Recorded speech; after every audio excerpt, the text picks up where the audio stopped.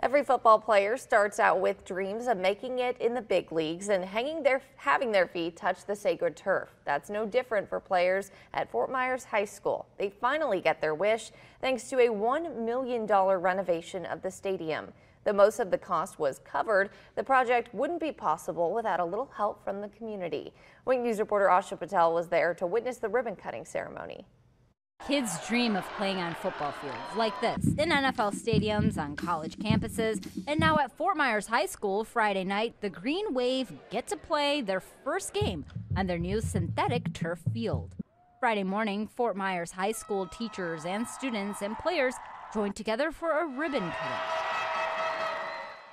I'm feeling amped up. You know, everyone, everybody's excited. We've been waiting a long time for this. Chris McFoley is the Green Wave quarterback, a senior who's waited months for this day to get here.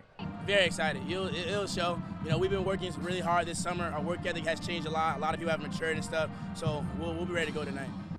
This new field was made possible thanks to a $250,000 grant from the Miami Dolphins as part of the NFL's grassroots program.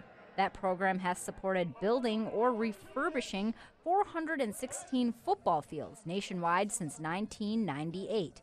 The grant did not cover the entire cost. People in the community and a hefty donation from the Sanibel Captiva Community Bank covered the rest of the $1 million price tag. It's going to be for all of our sports, but not even just our sports teams. It's going to be for our band, our ROTC, all the students that come out and enjoy this for our events, our pep rallies. I mean, it's just, it's, it's such a, a great field. Stephen Cato is the athletic director of Fort Myers High School. He told me crews worked around the clock to make sure the field is ready for the first home game. We do this for the kids, and, and, and that's, that's why we're here. Let the music play and the football begin. In Fort Myers, Ash Patel, Wink News.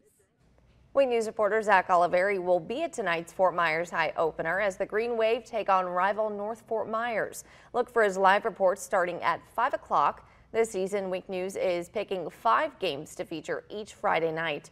We'll have highlights on the night beat and extended highlights on winknews.com. Just click on sports, and if you have pictures you want us to post from your game, click on the fan zone where you can upload them for us.